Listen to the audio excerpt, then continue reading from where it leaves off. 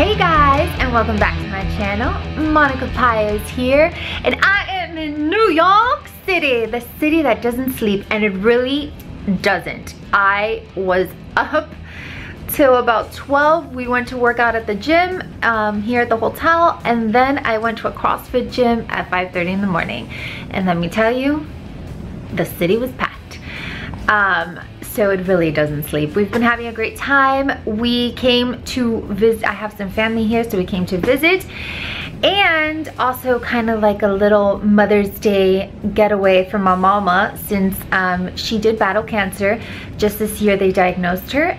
Thankfully, thankfully, thank the Lord, they were able to take it out and she's fine. And um, they're just doing some chemo for preventative measures and then they got to do radiation and a whole bunch of other stuff just for preventative but after this she's got only like a 1% chance um so my mom she's actually getting coffee downstairs so I'll introduce her to you guys later um, but when she got her first chemo like the very next day she's doing two miles so that's definitely a beauty turned beast in my book and I think it's a good way to spend some quality time with your mama.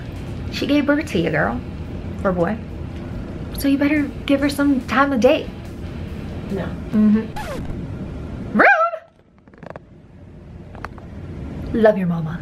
Alright guys, we are finishing here and I will catch you at Highline Park. I think that's what it's called. Hey guys, so we're here at Highline Park and I'm with mama. And we're gonna do a quick little workout with our band.